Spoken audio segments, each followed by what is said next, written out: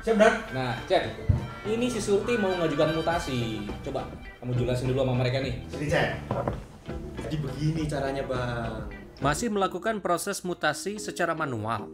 Kini tak perlu khawatir. Saat ini Polri memiliki aplikasi e-mutasi yang mempermudah proses mutasi personil Anda. Kunjungi website mutasi.ssdm.polri.go.id. Masukkan username dan password Anda. Sebelum melakukan input permohonan mutasi, pastikan berkas personil sudah lengkap pada aplikasi SIPP Update dengan cara masukkan NRP personil yang akan diusulkan pada form validasi berkas. Jika berkas lengkap, personil dapat diusulkan.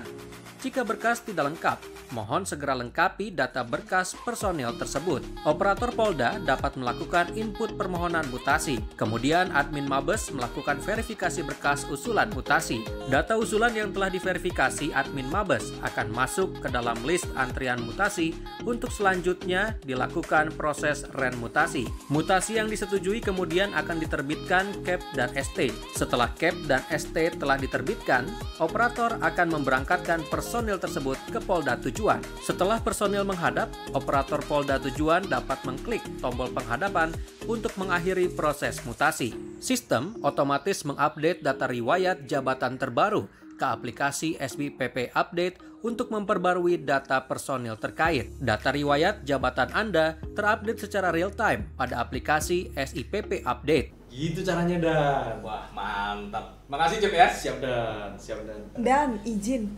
berarti kita kalau misalnya mau mutasi nggak perlu bawa berkas ya Dan ya? Dan terus kita bisa mengecek secara online. Betul. Kalian nggak perlu lagi bawa berkas-berkas kayak gini. Yang penting ya, kalian berdua ini sudah lengkapi dan upload di SIPP. Jadi kalian tinggal mengusulkan secara elektronik. Nanti sistem yang bekerja.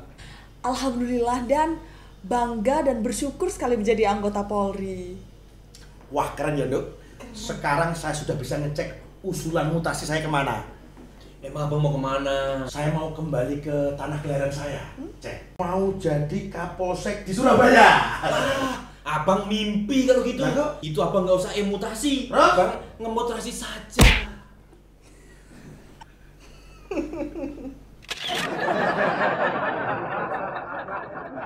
SDM Polri terus berupaya meningkatkan pelayanan yang lebih baik kepada anggota.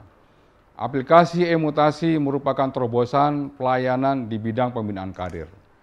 Mari kita manfaatkan sebaik-baiknya untuk menuju SDM unggul Indonesia maju.